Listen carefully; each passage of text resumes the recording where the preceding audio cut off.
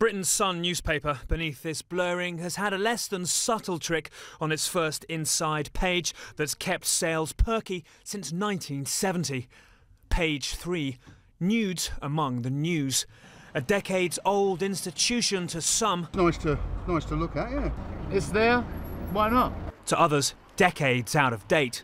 Well, perhaps it made commercial sense in the 1970s, but now the internet gives people anything they want whenever, and struggling newspapers are trying to lure women readers, not offend them, enough so that the Sun's troubled owner is thinking again. Rupert Murdoch, reeling from phone hacking scandals, tweeted recently he might replace page three nudity with, quote, glamorous fashionistas, like those now on the Sun's weekend pages.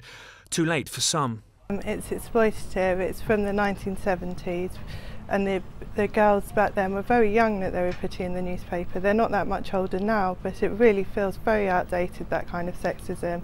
Long ago, Page 3 could launch a woman's other talents. Sam Fox sang her way to the top of the pops after dropping her top.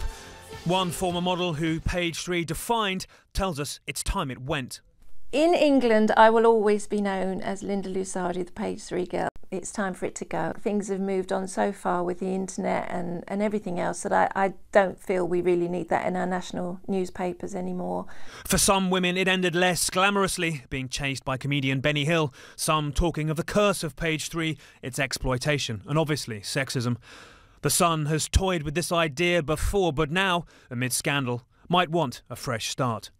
Nick Paton Walsh, CNN, London.